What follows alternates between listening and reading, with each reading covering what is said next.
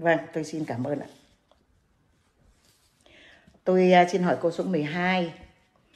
Xin giải thích cho tôi được hiểu công thức để trời tứ thiên vương sản xuất con người đầu tiên là như thế nào?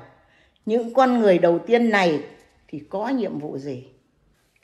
Tôi là Thiền Gia Ngọc Lâm, xin trả lời tiếp câu hỏi thứ 12 của chị Lê Thị Ân, cư ngụ Hưng Yên. Cái công thức mà để sản xuất ra thân con người đầu tiên trên trái đất này, xin lỗi, chúng tôi không thể trả lời ở đây được. Bởi vì đây là phần tuyết mật của Đạo Phật. Khi nào quyển giáo lý Đạo Phật khoa học vật lý truyền thông Việt Nam được phép xuất bản ra một cách hợp lệ, thì tôi sẽ xin và tặng cho chị một quyển. Chị xem trong quyển sách này là biết được công thức sản xuất ra con người đầu tiên. Những con người đầu tiên thì có cái nhiệm vụ là làm thủy tổ của loài người. Xin mời chị đặt câu hỏi tiếp theo.